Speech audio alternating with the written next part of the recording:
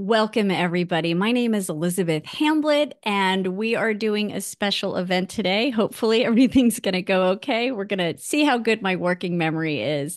Um, I often do these Facebook events online, but I have had the honor of being invited to join the College Parent Central podcast, of which I am a subscriber and great fan. Um, also, not just the podcast, but the blog. So, joining me today is Vicky Nelson, who is the founder of College Parent Central. Um, and I'm a great admirer of hers. And we thought we would try to record the podcast and do one of my usual Facebook lives streaming. So, for those of you who are listening to this on the podcast, um, you don't get to see these wonderful people, but um, you can go to the YouTube channel also if you just want to watch this video um, as well as uh, listen to the audio. Um, so, we are going to get started. Um, I am a college transition uh, resource, I guess, for people. I, for those who are not familiar with me, um, I work part time in a college disability services office as a learning specialist, and I um, help students with time management and organization and reading strategies and and you know things that are challenging for everybody at college, um, but that my university offers, especially to my students. Um, mine is an unusual position for a college disability services office to have um, because my services are offered to my students for free. And so, for those uh, who are new to this whole world, it is a very different environment between K through 12 special ed. Um, or if your student has a 504 plan, the kinds of supports that colleges have to provide under, uh, pardon me, high schools have to provide under either IDEA, the Individuals with Disabilities Education Act, or Section 504 Subpart D, which is the part that applies to K through 12 schools, and Subpart E, which applies to colleges. So when I am not working at my college job that I love so much, I am out here trying to help professionals and, and family members learn about these differences. And one place that's really a stark distinction is between the kinds of supports and accommodations that are often available.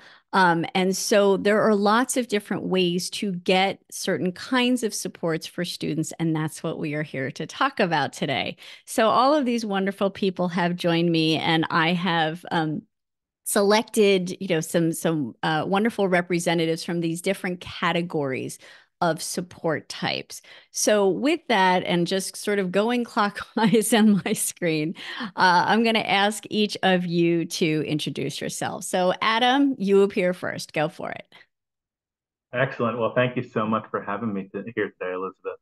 Um, incredibly uh, prestigious panel. So it's nice to be with all, all the, my fellow panelists. Um, my name is Adam Lalor. I'm the Vice President for Neurodiversity Research and Innovation at Landmark College.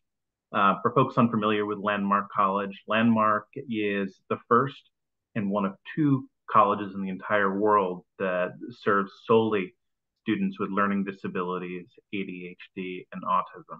I like to describe it as uh, we are to neurodivergent students what an HBCU might be for Black students or women's mm. college might um, it's a great community. Um, I am an educational psychologist. Uh, I do my research and writing on how to support college, uh, students transitioning to college, how to support their success and their ultimate transition on to whatever they choose to do next in life. Um, I also oversee our research and training division at the college, where we're doing grant based research, as well as training at colleges and universities, secondary schools. Just did something with the CIA. Um, uh, I mean, around really around the world. Uh, I am the parent of a, of a, neurodivergent, two neurodivergent boys. I also identify as neurodivergent disabled. So, pleasure to be here. And I'm fangirling a little because I I read Adam's research, so I'm very excited to have him here. All right, Ann-Marie. Hello, thanks for inviting me. Uh, I'm Ann-Marie Stripling. I'm the Enrollment and Outreach Director for a program called Focus Collegiate. We work with college age students really across the nation. Uh, they can go to any school they get into and want to go to. Um, but what we do is we provide uh, holistic support to them while they're going to school. So things like helping with academic independence and oversight, helping with social integration. How do they get connected on their new campuses and their new environments? Um, how they balance all the stuff that they need to balance, because we all know that college is um, can be a whirlwind a little bit. Uh, so how do they balance all those pieces? And how can we help them become young adults making independent decisions in a very thoughtful and mindful way? So um, my background's in special ed and counseling. So I've been in the field for a long time. I uh, I love working with young adults and have been doing that um, working with young adults and working with their parents during mm-hmm. this transition time. Um, Focus Collegiate's a, a, new program in the scheme of programs, and so some of these places, uh, we're in our fifth year. Uh, we're small but mighty, and uh, you know we love helping students through that process, not only before college, but be, be you know on their road to success once they're in college. Small but mighty. I like to describe myself that way. Um, uh, Mary. Hey, um, hi everybody, and thank you for having me on this. It's uh, it's going to be a great learning experience for me as well. Uh, and so I work as a national enrollment specialist for the College Internship Program, or CIP, which is a transition program for 18 to 26 year olds with learning disabilities um, and autism. Primarily, our, about 80% of our students have an autism spectrum diagnosis.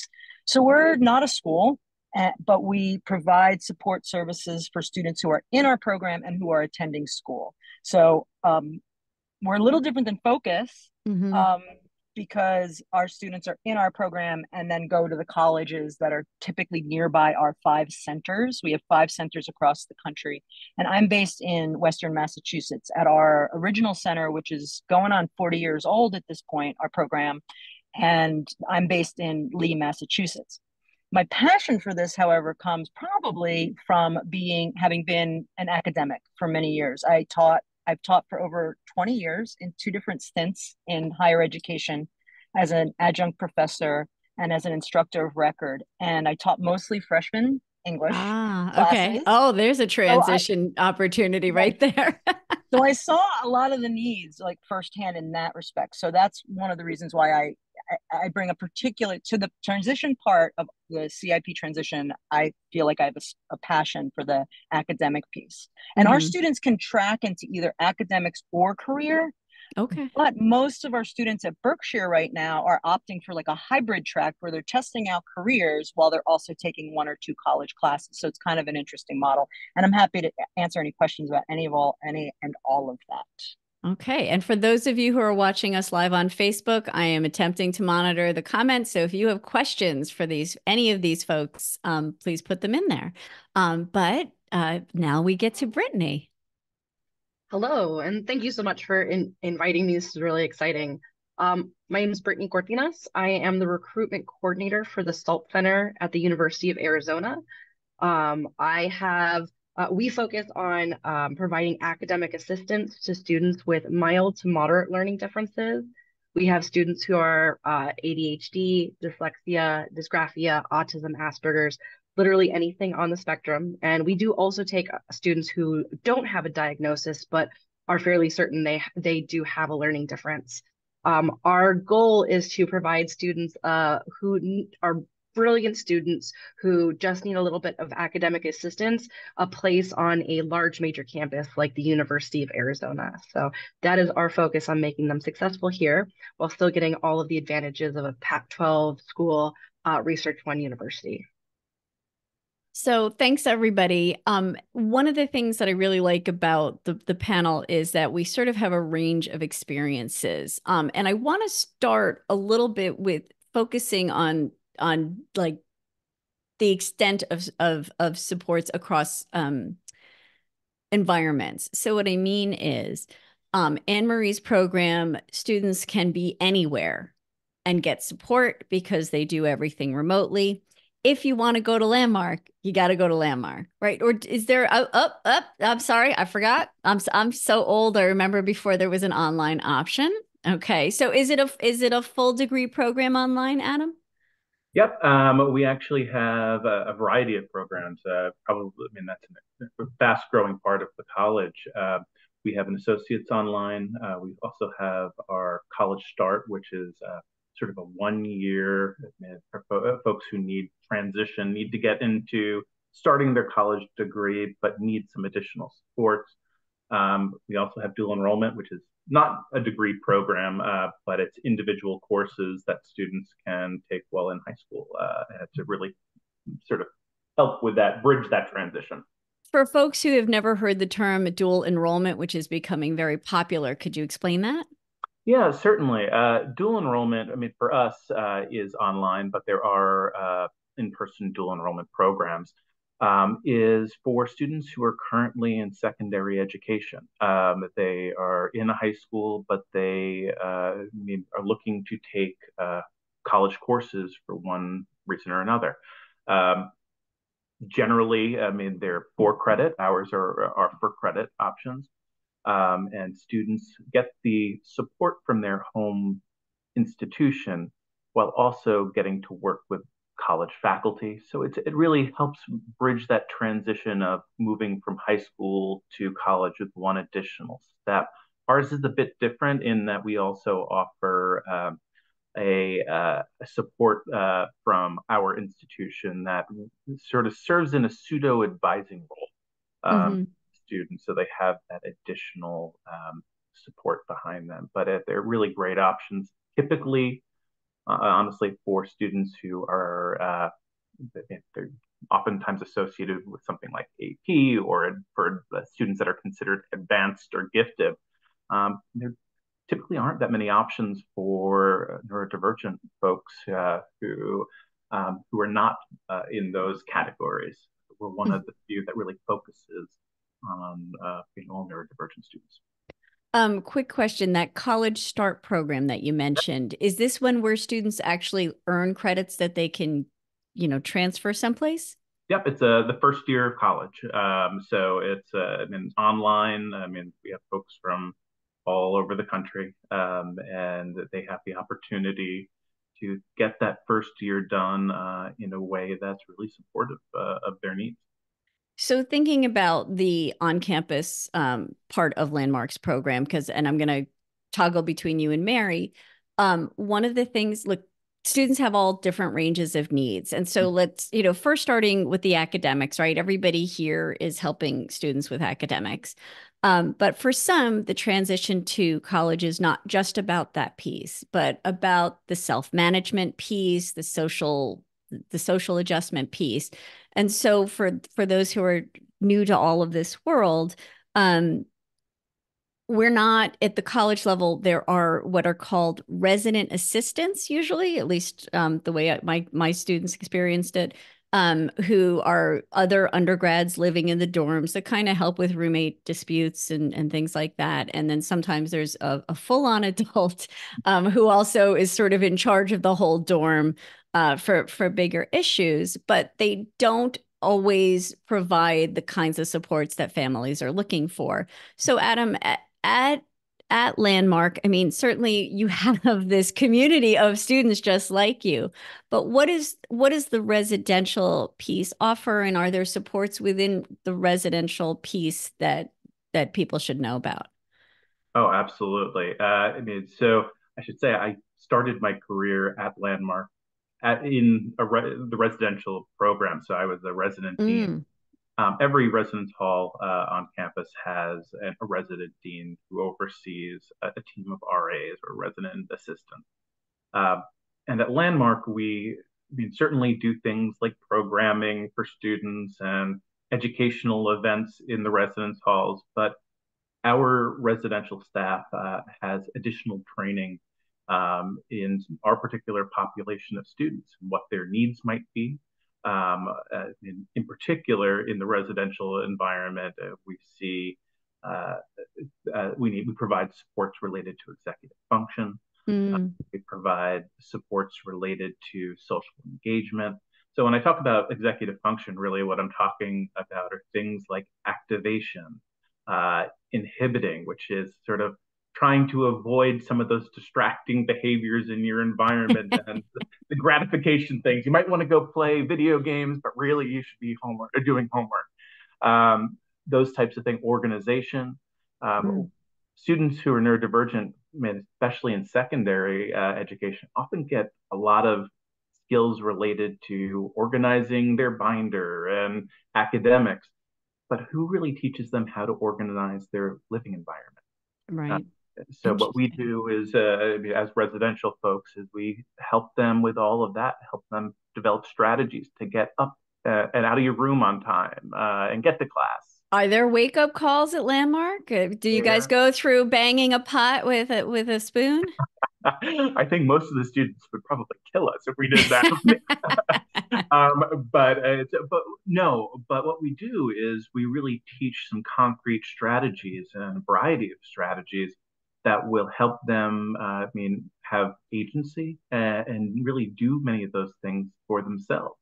The okay. nice thing is that our advi- our residential staff connects with our academic advisors regularly.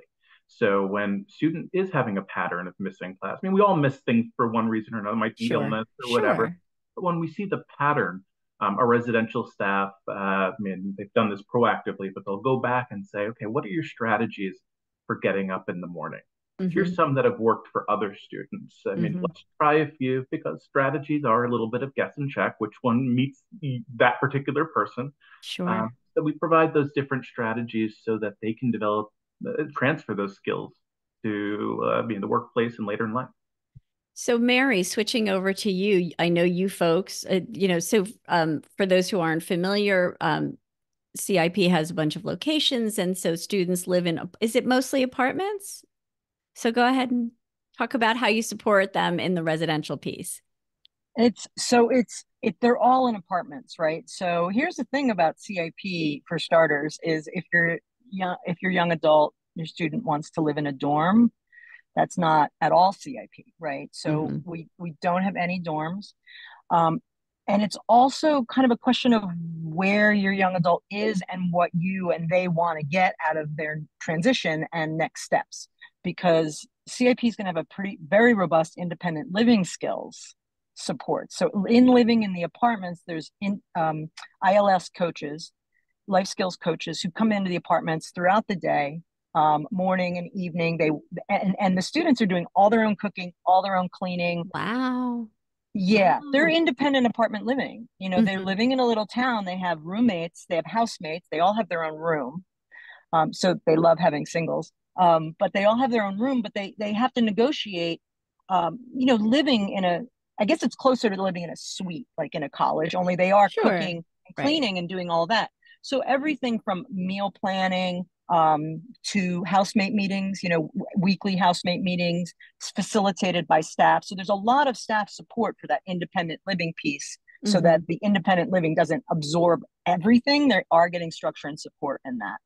Um, so the way I like to phrase it is they're doing their work, in, life skills in the apartments for the most mm-hmm. part.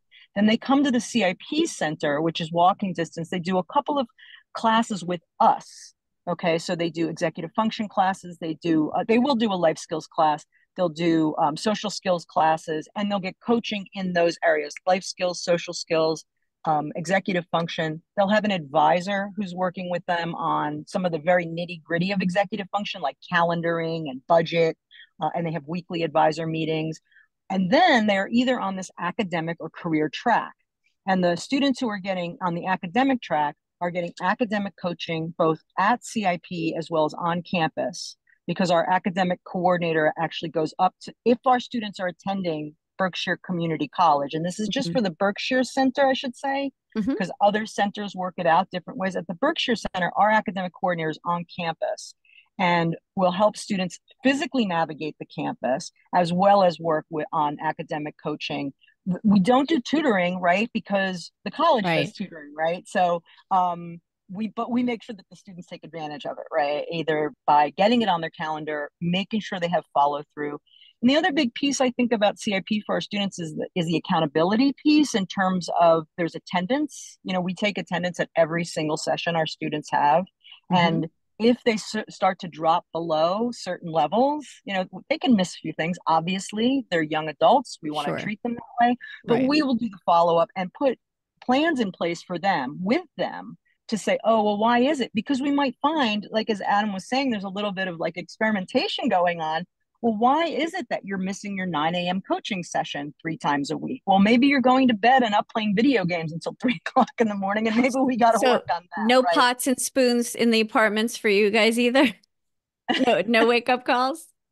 No way. Well, if students need them, right? So we have evening supports every night to help students set up for their next day. But if mm-hmm. students really need a morning support, they can get a morning support, which is actually a knock on the door. Oh, okay. Sometimes Good a medication know. reminder. Uh, okay. A, a, lot of our students don't need it. That I would say our students are, are, are like it's a very niche. At the same time, there's so much diversity amongst our students. We've got 41 students at Berkshire and over 60 at our Berkeley campus.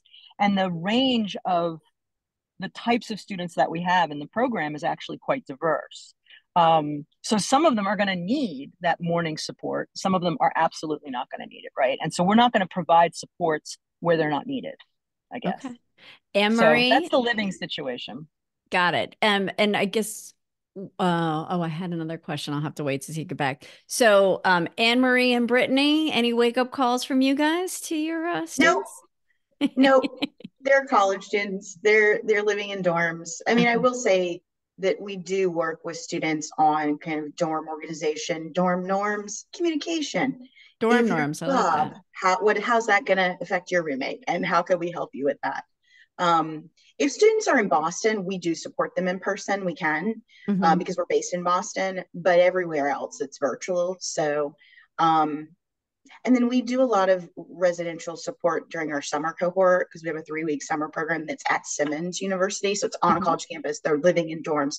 So that is almost kind of a first step to getting them where they need to go to not have the pots banging in the fall. So I know. I feel like I'm very old. My husband would probably take out his cell phone and he's probably got a, a bell app he would ring instead. So, you know, I'm, I'm old school. And Brittany, what about SALT? Do you guys go through the, you're, you're on campus. Do you go through the dorms? We do not. So we, we are, have a fully integrated model. So our students are in with everybody else. Um, and it, much like Ann-Marie, our students are college students. They're in the dorm it's expected that they would be able to get themselves up and arrange their schedule to if they need night classes rather than morning classes because they want to sleep late. Mm-hmm. Um, however, if they are finding that they're having trouble or they're uh, getting up or they're not sure if their schedule is right for for them based on their needs, that's something that we do work with them to figure out strategies that best help them cope or adjust their schedule. Um, we spend a lot of time working on organization and time management with our students. Sure. Um, and so I want to circle back to something that Mary said because I think sometimes people will hear Mary said that they are on campus at the Berkshire um, uh, um, camp campus, whatever. Sorry. And so one of the things that has come up sometimes parents ask me or when i was doing the interviews um, for my book which i forgot to mention so seven steps to college success pathway for students with disabilities where we talk about sports and i've interviewed a bunch of these folks. Um, landmark um, very distinctly no accommodations because the whole environment is designed for students with disabilities right? You don't have a disability services office adam um, we don't have, I mean, we do offer accommodations. Um, okay. Generally, they're more residential based rather than for the academic, for the mm-hmm. curriculum. Um, we have a lot of, I mean, while we focus on students with learning disabilities, ADHD, and autism, there are students that come in with a variety of other disabilities uh, that need different accommodations. So we will do that. Uh, okay. so, so what I was thinking of was when um, when I was interviewing folks from the book, one of the things that they wonder is like, for instance, Brittany, um, if if a student registers with University of Arizona's SALT um, Disability Services Office, and for instance gets turned down for, and this is common, extended time for papers and projects, which is not something that a lot of students with learning disabilities, ADHD, and autism get. This is all anecdotal. This is my experience of what I see in our community. So sometimes families think, well, but if I pay for the fee based program, or if Mary's on campus, um, can first of all, Brittany, if if I register with um, SALT, do I now get access to accommodations that maybe disability services did not approve? Unfortunately, no. So um, all accommodations that are specifically for the classroom go through the Disability Resource Center. Um, so it, going through SALT would not provide those additional resources like the additional test taking time. Um, one of the things that we might suggest for a student if they weren't able to get that um, get that accommodation is first of all try again uh, we do Always, there is yeah. a lot of there is a lot of discussion with our disability resource center um, with students and trying to get the things they need um, but we might also work on specifically with we have a ton of different tutoring types um, practicing with the student figuring out how to how they study and how to make maybe test taking a little bit quicker. Um, probably working with a support specialist that we offer to maybe see if the conversation can go a different way with the disability resource center to get the, the accommodations that they're looking for. Um, so we'd probably just revisit it over again and then possibly if we can't um, going through a different way with finding um, ways to make testing easier okay yeah that's and that i think you know the strategies are really important um, and I just saw a comment on Facebook. So I want to take a moment um, I, for those of you who are listening um, and those who just came in um, to the live stream. We are talking to Mary Sokolowski of College Internship Program, Adam Lalor of Landmark College, Ann-Marie Stripling of Focus Collegiate, and Brittany Cortinas of the University of Arizona SALT Center. So, Mary, I want to circle back to you because I do think sometimes with programs like yours, you actually are on campus, but you don't have any um, power, so to speak, with the disability services offices at these colleges, correct? Oh no, we don't have any pull with them, but I think what we do pretty well is work with students so that they're prepared when they go into their disability services. Wonderful. Right. Right. And and we can actually accommodate them. We can actually accompany them if they feel they need it. They can sign a waiver that enables us, their their academic coach, to be in that meeting. So and, that and when you're in those meetings, what do you do? Not a lot because okay. yeah. I mean, I don't actually attend those meetings, but oh, I, okay. But, but we don't, we're not allowed to do very much, right? We're more of a prompt and a coach to the actual student. Mm-hmm. So if the, if they say, you know, they may not offer also certain, I mean, I'm sure that the places that I'm talking to and on this program have great disability resource centers. I was an adjunct professor in community colleges in like five different states, and it is grim. So honestly, I, I sorry, but it's it can be really grim, and it does. It's not because disability resource. I'm not trashing disability resource services.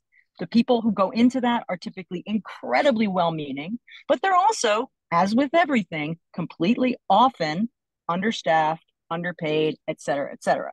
So um, if especially if a student is taking like the community college route, living at home and going to community college and taking one or two classes, somebody's got to really be, I think, with a lot of the students come to CIP, really coaching that student on how to get. Um, and I'm sure this is not an issue at any of these programs. I know it isn't because that's what they're there for. But at any at a place that doesn't have a program like this, there's not there's not a lot honestly there real there just isn't i think in my experience. And so um, you need to be able to not only have someone who's going to prepare you for that disability services meeting making sure you've got your documentation making sure you know what resources are even available to you. Voice mm-hmm. to text software note takers all the different things like no they're not going to necessarily offer that up and you're not going to know as the student what your learning style is and the stuff you've never heard of and wasn't on your IEP, whether that's going to actually benefit you. So we mm-hmm. really, you know, we're coming from a perspective where our students start usually very slow in college, one or two classes to begin with, so that they're really learning everything that's available to them and how to get it. And then here's another piece is if they don't get it, because they sometimes don't, and I can actually tell stories about that, how to advocate for it, right? And that brings in a lot of different skills, including, you know, building self-esteem and self-confidence, but also social skills. Like, how do I reach out to this professor who is actually not doing what my accommodations are Ooh, saying? Right, right. And right. And does the professor even have to do those accommodations necessarily? Right. Um, so there's that's what we're like. We're not in a we're not a college based program, so it's not the colleges that our students attend. This ethos that everyone in this program has aren't isn't typically imbricated into the system, right? Mm-hmm. So we're like starting at just a regular old college that doesn't know anything about special, right? right. About how to do this. So it's kind of a slightly different approach, and um, so we don't do we don't do hardly anything in the meetings. We don't do anything with our students' grade reports. We can't, we don't. But if a student wants to share that with our, their academic coach, they can share it. Mm-hmm. And and and if our coach thinks that it would be beneficial, our coaches are empowered to ask. But as you know, we, our students are also quite empowered to say, "Yeah, no, I'm not showing you my midterm grades." Like, okay, you know, um, or whatever else, you know, disability report. Can I also say something else in, yeah, in conjunction with that? It's not only about getting the accommodations, becoming eligible for the accommodations, because that's one thing, right? That initial meeting, you're going through, you know, this is what I need, this is what I've had in the past, it was successful, you know, and, and I need to continue to have that. It's also about accessing and implementing what those accommodations are in the fall. So, for example, extra time. I get extra time on tests, and I'm also testing at a testing center, for example. A lot of students struggle with, like, okay, but now I, as the student, have to set that up right for every class, right. for every test. Yep. And if you have executive functioning challenges, whoa, that's mm-hmm. a lot to do. Mm-hmm. And so mm-hmm. for our students, it's helping them connect those dots. It's helping them know how they can access those and implement them, and then doing that over time so that, okay, after a time, they got it. They, they know what they're doing. It's fine. Um, but that's a really important piece for mm-hmm. students to understand. It's not like in high school where it just kind of magically happens. yeah. And I just want to say, you know, to Mary's uh, earlier comment. So, you know, yes, the people working in my field, I'm going to stand up for disability services offices are wonderful. I know. And, and she's, she's, for those listening, she's making a face. She, she was just saying there's sometimes one person offices for several hundred students. Um, and they're just things they don't have time to do. And so, um, for instance, typically when a student has um, and this varies based on how a college runs the testing accommodations. At a lot of colleges, again, I don't have stats for you. I always try to make sure I can mention those. When students have exams, they have to fill out a form that tells disability services the name of the professor, the time that the exam is supposed to happen, then maybe the name of the class, and submit it to us because we are not, and this is the difference between K through 12 and college, we're not monitoring several hundred students' schedules we are not communicating with their professors to ask them about this stuff. It is the student's responsibility. And so, as happens absolutely everywhere all the time, students sometimes come to us the day before, sometimes the day of an exam with their form we just literally can't arrange it in that amount of time. And so a, a, really important difference between K through 12 and special ed is like, you know, it, the record does not come to, you know, to a screeching halt. Everybody stops and drops everything to go make sure this will happen. Student just doesn't get accommodated at that for that specific exam and then hopefully we'll implement things but um, what everybody's talking about here about mary and, and Ann-Marie about like okay what are strategies for coping with that many of us don't have the time to teach students that. You know, I only get to see my students if I see them every week, um, it's for a half an hour. Um, and so there's just not always the time to do that. Um, Brittany, do you folks help students with this sort of administration part, uh, administrative parts of college life? Uh, yes. Uh, so we we would focus. This would be a role for our support specialist, who um, they meet with our students similarly for 30 minutes every week and can assist with um, some of the more administrative parts. Um, we really focus on self advocacy. So really trying to push our students into feeling comfortable do, pursuing it themselves. Because again, they're college students. They're uh, they're over 18, so mostly they have to speak um, for themselves.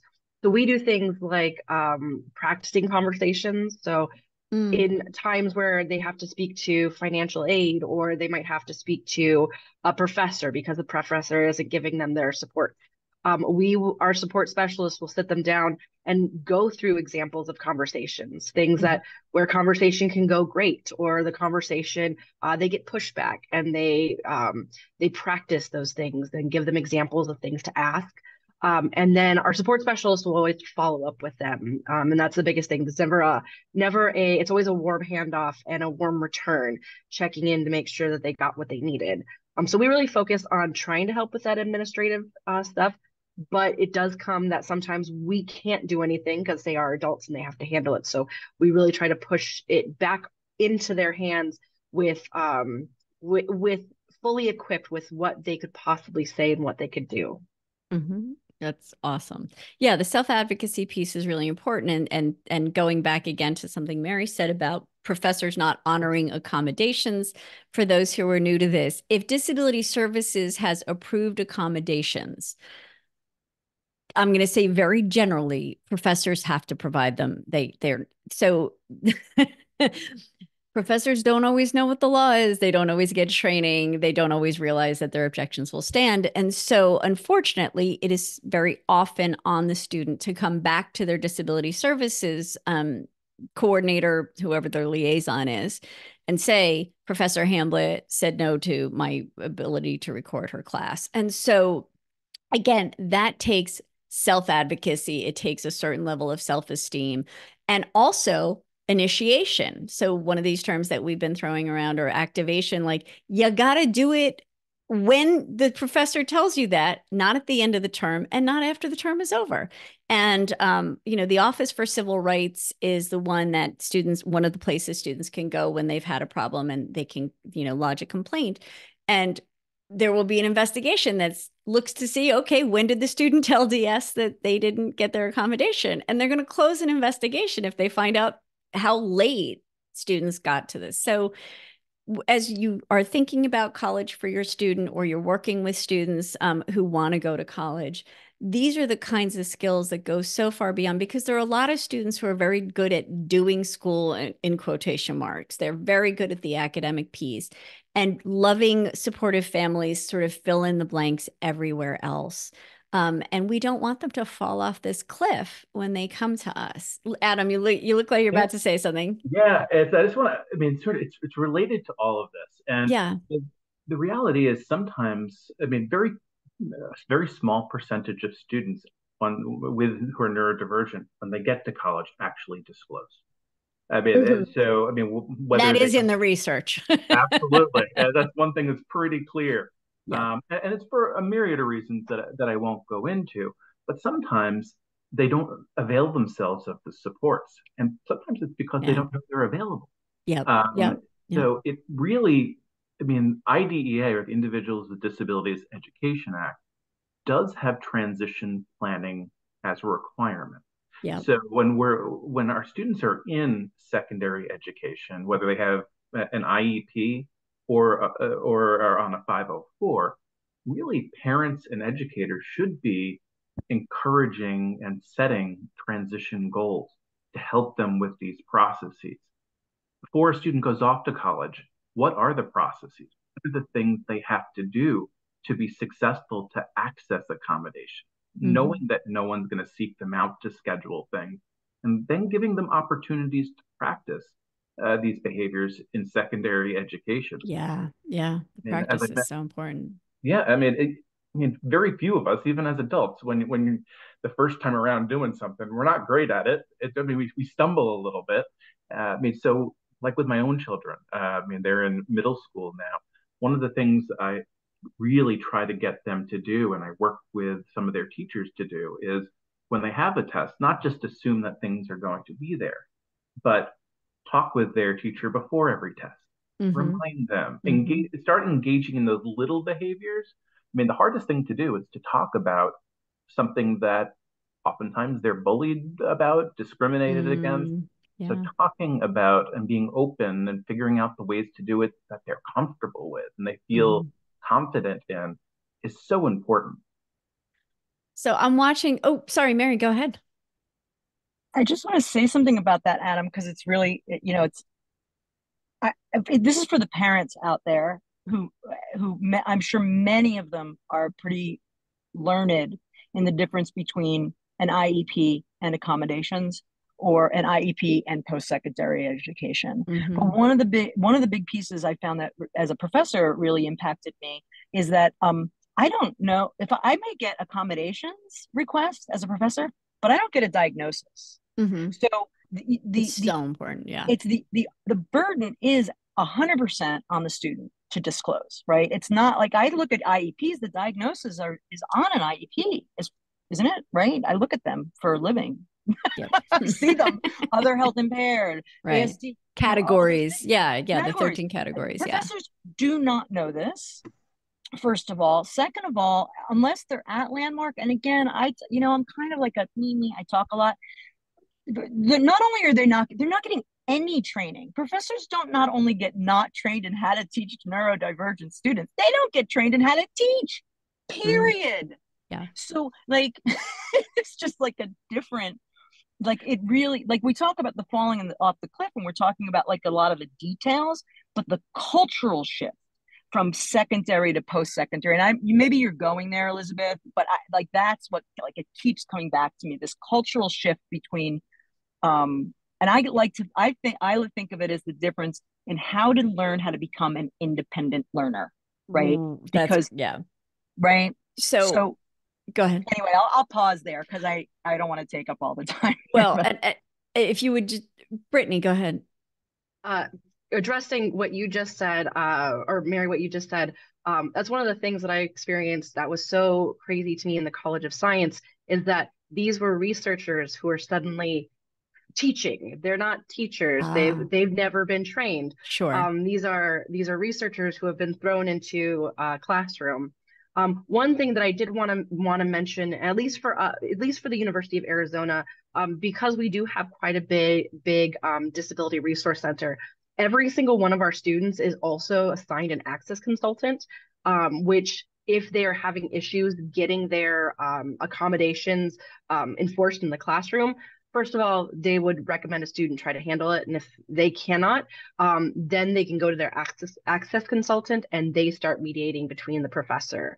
Sure. Um, that's something I, I haven't seen a lot of other colleges, and I hope yeah. that starts becoming bigger, but that's something that we're doing at the university And so eh, generally, you know, again, more than 4,000 colleges in the country. I can't speak for all of our colleagues. Um, but, you know, when this happens, and hopefully a lot of your students are going to get through and there's never going to happen to them. So I don't want to make this seem like a bigger deal. This is a perfect example, though, of, you know, the adulting part of thinking ahead. So, um, you know, and again, it probably won't occur to most, you know, incoming freshmen that this could be a problem but um you know it would be nice if my colleagues were telling them when they register with us and get their approvals what to do in this case. But again this is all the help seeking you know which is part of the self advocacy but i did i'm gonna i'm gonna do a hot take here and disagree with mary on something. So you ready? So mary said that it's the uh, the students burden to tell professors about their disability. I come out this from a completely different um, lens of it is their freedom not to have their professors know what their disability is. And because she, for those of you who are listening, she's she's she's on mute, but she's nodding. So again, I don't want to put words in Mary's mouth, but I, I think it's a really important point. Um, our letters or our notifications to professors just say, Dear Professor Stripling, Elizabeth Hamblet is a student in your class. Here are the accommodations we have approved her for. So, um, very differently from K through 12. Um, most of us do not say in the letter what the student's disability is. So, it is their um, decision to disclose more or not. And because of the research showing that a lot of students come to us, as Adam started, like first of all, just never register. Um, and when when researchers talk to them and ask why, some of it is, I want to be a new person. I want to shed this label. I want to be free of this. They don't want to be seen as lesser than. And I, that just hurts my heart that they think professors will, but there are all kinds of people out there. Um, and also just that, you know, it's just privacy. You know, they're, they're, they're, they're going to their new space and they want to just present whatever they want to present. And so it's important to let students know that if they register with us, that information is not going to come from us. Now, you know, sometimes I jokingly say if you are a student with the hyperactive form of ADHD and you decide, as many of them do, to go off your meds when you start college because you're going to try this out, it's possible your professors will observe that you perhaps might have um, hyperactive ADHD.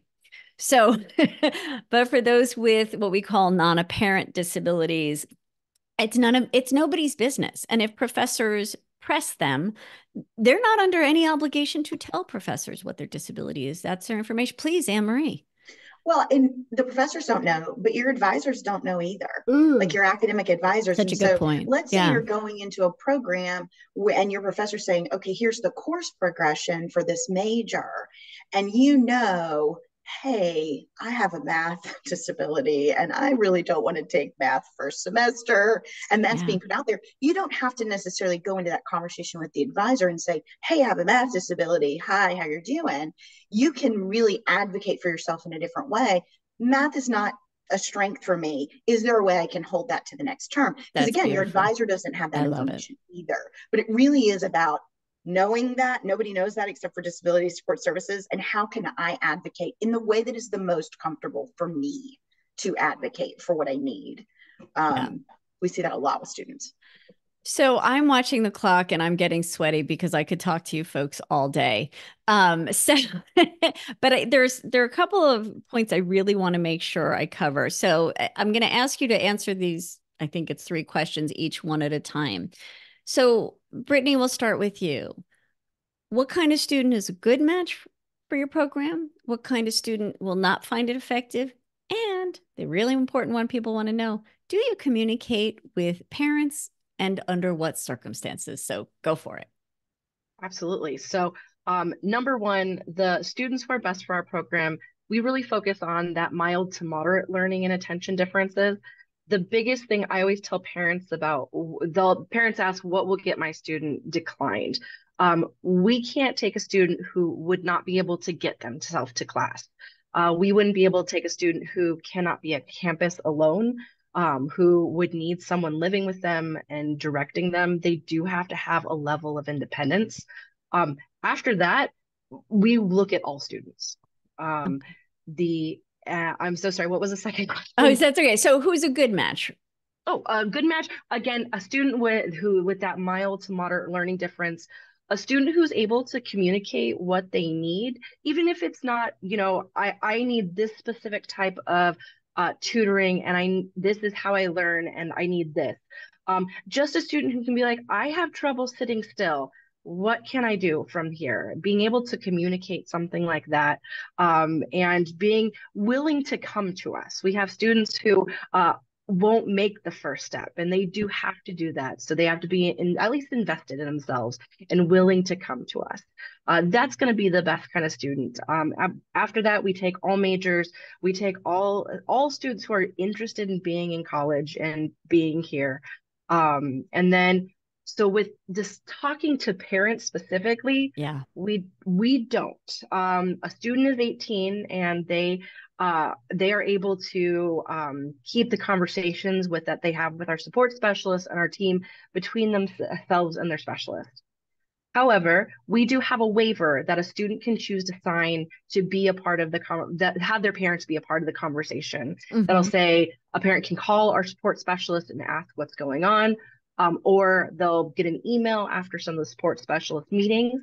Um, or if a parent does reach out to us and say, I really would like to know what's going on, um, our support specialist will actually straight out ask the student, Hey, your parents are wondering what's going on.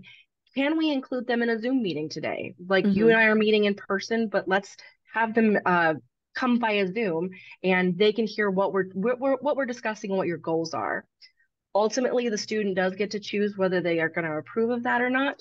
Um, but we do try to make those those avenues available because sometimes students also don't know that hey yeah my parents could be a part of this conversation. And you don't provide progress reports right to parents? We do not know okay. Um Ann-Marie who's who's a good match who's not a good match and do you talk to parents? Sure. So who's a good match? Similar to brittany somebody who is motivated to be in college wants to be in college um, is taking college classes because those are the students that we work with um, I would also say students who are open to getting support, right? They, you know, we, we, um, they they can be nervous about that a little bit, but they need to at least be open to working with us uh, actively. Mm-hmm.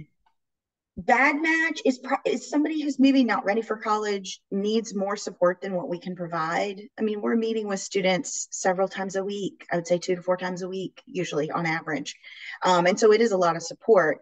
Um, but if they need more support than that, maybe they're not ready to live in the dorms yet. That's okay, but that's probably not a student for us. Uh, parent support, you know, parents need scaffolding just as students do. So we do work with parents. Uh, we do uh, twice a month parent education sessions. And so sometimes that's about student motivation, and sometimes that's about, hey, what's happening in the midterm of the semester for your students, right? Um, we do provide weekly updates to parents, but the weekly updates are not every single thing that is happening in that student's life. We want the parents to know enough so that they feel comfortable about how things are working with the student, um, and also enough to start stepping down and letting go and um, moving on. Does that include student grades? It does at the end of a semester for sure. Okay. Generally, you know, we like to give students the opportunity to have the whole semester to get where they need to go. Also, and again, you know, I love professors, but sometimes some professors are really great at putting in their grades all throughout the semester. Some are not. So sometimes Truth. that information yep. mid-semester is hard to ascertain. Right. Um, and so so we do work with parents a fair amount. I mean, obviously, we're going to, the onus is on the student. The student has to agree to that. Uh, we have some students who don't have parents involved. That's okay too, right? So we, we want to have that conversation with the student because they are in the driver's seat. Mm-hmm. Adam. Who's a good match? Who's not a good match? And do you talk to parents? Yeah, I mean, who's a good match uh, at Landmark? I mean, is really broad. Um, it, okay. I mean, what we're really looking for is uh, someone who is college capable. And we use that term instead of college ready, because frankly, so many of us, even neurotypical or neurodivergent, we're not ready for college. Um, but I, agree. I agree. I agree. What, what, we're looking for is someone uh, who really, I mean, if given the support, if uh, given skill development, whether it's executive function, social skills, um, could be college ready. We'll work with you on that. Mm-hmm. Um, so we're looking for someone who, you know, may not think, I mean, I mean, may or may not think that college is right for them, but th- they're interested enough to give it a shot. Um, and I mean, for, we have to remember a lot of these students have had really awful educational experiences, experience educational trauma. So why go on for, for another four years? Right. What um, what what doesn't sound fun about that? Yeah, I mean, the first first and foremost thing that we try to do uh, with our students is to help them rekindle a love for learning, um, and then sometimes oftentimes their motivation goes up. Uh, so we're looking for students who are college capable. Um, we we're not, I mean, despite having a tremendous number of really wraparound supports uh, for students, we are not a therapeutic institution. I mean, mm-hmm. that's not what our skill set is. Many of our services, I mean, frankly, it's would support those students, but we don't have, we have a tremendous counseling team, but we are, we don't have hundreds of counselors uh, uh, uh on our campus. Um, so I mean, really, those are the things that we're looking for, and I mean, it's and the things that uh, we hope our students bring. Um, in terms of parents and families, we work tremendously with families. Um, we don't view them as helicopter parents. We don't view them as burden. So I mean, we really view them as collaborators um, uh, on supporting their uh, child um, or young adult. It's uh, so we will oftentimes, uh, well, I should say, the majority of our students sign FERPA waivers or Family Education Rights and Privacy Act waivers that allow us to talk with their parents. Um, advisors are typically uh, the uh, primary group will be the direct liaison with the parents um, because they have regular meetings uh, with our students, understand that both their academic and uh, their co-curricular lives. Um, we do extensive parent orientation where we bring them on uh, oftentimes during the summer months to via online to get start getting them ready. We then have the parent orientation on campus during our family weekend. Our advisors, our students, and our uh, parents will actually have meetings and they'll get together and talk about different things going on. And most recently, uh, actually this month, we'll be launching what we call um, the Landmark College Family Resource Hub, which is not only for our parents, but for parents external, I mean, parents and families externally, really to uh, provide them trainings and skills related to secondary education, the transition to college, uh, and that'll be available on our lconline.landmark.edu platform. Uh, so, yeah, we love parents. and Mary, good match, right. not good match, and parents. Okay, so good match. Some of the things people have already said, motivated, and specifically in CIP's case, motivated to be in a program that's college, potentially college, potentially career, and you're also going to do a lot of work in independent living, um, social skills, etc. So that motivation, um, acceptance of diagnosis, it doesn't have to be like intense, rah rah, like I'm going to go be an activist, but they sure. have to have some level of acceptance of their diagnosis. Importantly, because they have to be mm. able to mm-hmm. accept everyone else in the program as well. So oh, we really look at some level of self acceptance, which we're then going to continue to work on. Um, and so those are really, and I would say most of the students who are at CIP right now are kind of college capable and what Adam Adam was saying. They don't have to be, but most of them are. Um, bad matches are if you really want a college environment, if you really want to live in a dorm, like as I said at the very beginning, like don't struggle to get your kid into C- to, to agree to CIP if they really want to be at a, on a college campus. Mm-hmm. Um, also, um, you know, sort of not at all accepting of diagnosis, like really fighting that. That doesn't really work in our model. Um, we're not there to bring them along to that first stage of acceptance. Mm-hmm. Um, they have to. There has to be a seed of that at the very least. Certainly, because we're a transition program, not just a college. So things like significant behavioral disabilities or behave you know like things that are violent you know any of that kind of stuff um, drug addiction um, alcohol addiction those kind of things we are not equipped for that um, we're not really equipped for students with intellectual disabilities mm-hmm. and or as adam was saying significant mental health issues um, we, uh, we every student does see a cip therapist once a week which I think is helpful because they're informed, they're ASD and LD informed therapists. So they're not doing just like what any random therapist will do, which is doesn't always work with our students. No, no offense to random. Th- I feel like I've, I've, I've like, I've, I've, you know, professors, discipline. You all are terrible people. No, I'm not. I'm not. I'm just saying it's about like being informed. Um, and then parents, yes, we absolutely talk to parents, but we don't share anything with parents that the students aren't going to share themselves. So students and parents have a weekly, at the beginning of the program, they have a weekly call with the student and the advisor and the parent, and the student chooses what to disclose and what not to disclose. We'll never disclose anything the student doesn't want to. They're all 18, and that would be a gross violation um, in, in many, many ways. Uh, but we also do quite a bit of parent education, often in those advising sessions, right? Okay. Like yeah. setting expectations and things like that. So we talk to parents quite a bit, but we don't report on students, if that makes sense. Mm-hmm.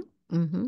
And I was just thinking, Vicky, of I think it was Lynn who said in one of your recent episodes, um, talked about uh, setting a, a, schedule of communication with your student when they're going to college. I loved that idea. I'm I'm so old that um, I just called home on Sunday nights because long distance rates were cheaper. So that was our schedule um, from the phone booth down the hall.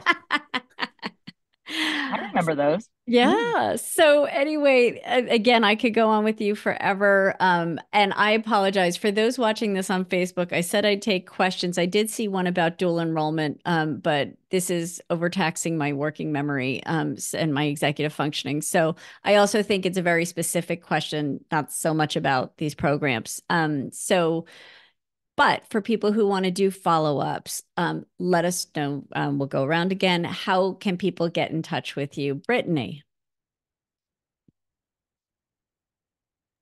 I muted myself and then couldn't find it. Um, so we can be reached at salt.arizona.edu. That's our website. Um, you'll find my information there, but um, I can also throw out my email. It's uh, bmcortin at arizona.edu. Um, I'm the primary contact for people who are interested in the SALT Center and our services.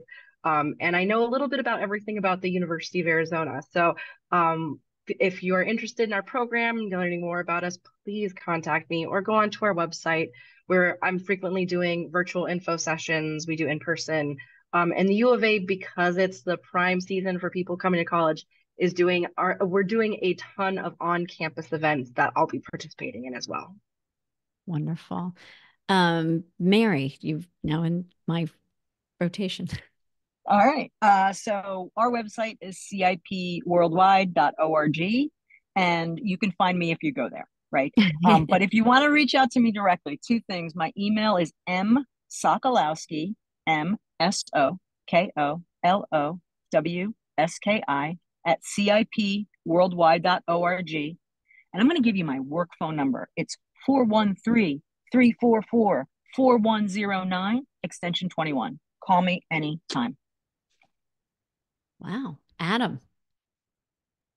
Yeah, the, the best place to go is landmark.edu, which is our main website. Um, if you have specific questions about really any of our programs, whether it's our online, on campus, undergraduate, dual enrollment, short-term programs, or uh, or the program that I oversee, our certificate program for educators, um, you can uh, email admissions with an S at landmark.edu, or if you want to get, get, get in touch with me directly, my email is Adam Lalor, one word, landmark.edu.